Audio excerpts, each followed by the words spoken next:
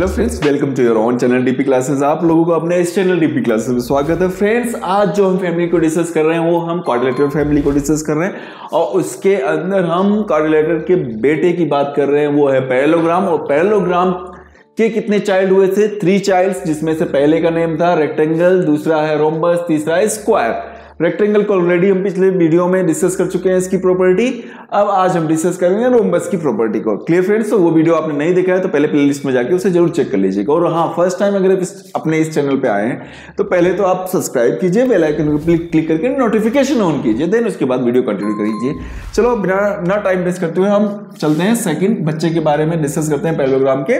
Rhombus की। अच्छा मैं बच्चा क्यों बोल रहा हूँ इसका? क्योंकि प्रोलोग्राम का अगर बच्चा है मतलब इनकी सारी प्रॉपर्टी को फुलफिल करेगा। इट मीन पैलोग्राम में अगर कोई प्रॉपर्टी बनाई है तो उसका अधिकार सॉरी रोम्बस का अधिकार इसके ऊपर होगा। It mean all genetic symptoms have rhombus okay now come on rhombus rhombus का डायग्राम हम ले लेते हैं like this I am sure ये अच्छे से क्लियर हो रहा होगा। रोम्बस ओके इसमें क्या होता है, इसकी डेफिनेशन अगर हम लें डेफिनेशन में आप लिखेंगे बिकॉज़ ये पैरोग्राम का बच्चा है तो उसके नेम से ही चलेंगे।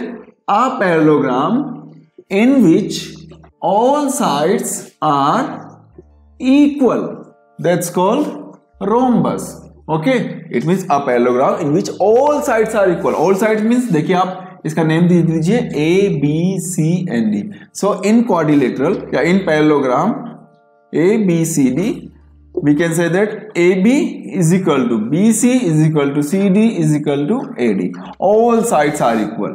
आपस में सारी साइड्स इक्वल होती ओके okay? अगर मैं इसकी प्रॉपर्टी की बात करूँ if I am talking about properties of rhombus then rhombus की प्रॉपर्टी में सबसे पहला पॉइंट ये लेंगे कि rhombus rhombus is a parallelogram it means Rhombus have all properties of parallelogram.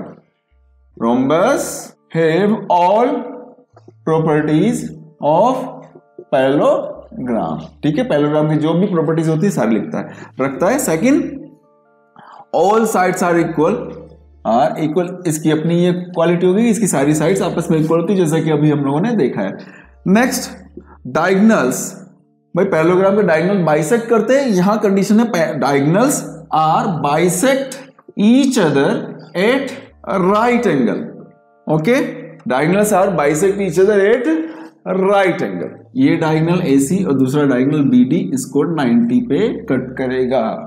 Okay A C is perpendicular on BD ठीक है? और ये इंटरसेक्टिंग पॉइंट हो गया आपका ओ किस पे? राइट एंगल पे बाइसेक्ट कर रहा है। Okay I am sure this one is clear next fifth property ले लो या फिफ्थ में ले लो आपका इसका एरिया अगर मैं फाइंड आउट करूँ एरिया सो so, एरिया में मैं लूँगा half into product of diagonals product of diagonals तो डायगनल्स में क्या क्या आ जाएँगे? Half into the diagonals A C and diagonal B D ये दोनों आपस में प्रोडक्ट इनका हो जाएगा। क्लियर और तो शायद कोई प्रॉपर्टी रह नहीं गई है इसकी।